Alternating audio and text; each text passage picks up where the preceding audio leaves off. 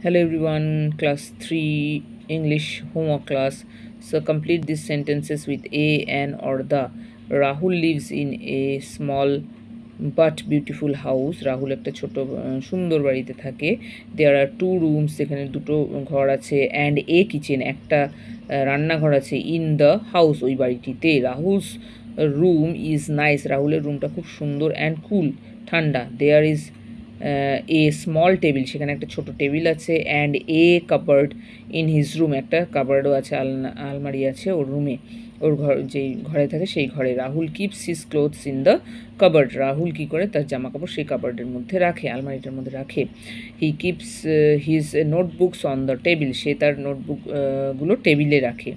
Rahul has an empty shelf near his bed রাহুলের bed মানে বিছানার কাছে একটা ছোট সেলফ আছে হ্যাঁ খালি সেলফ আছে। He wants to fill it with story books সে সে ওই যে সেলফটা আছে সেই সেলফটাকে কী দিয়ে মানে গল্পের বই দিয়ে ভর্তি করতে চায়।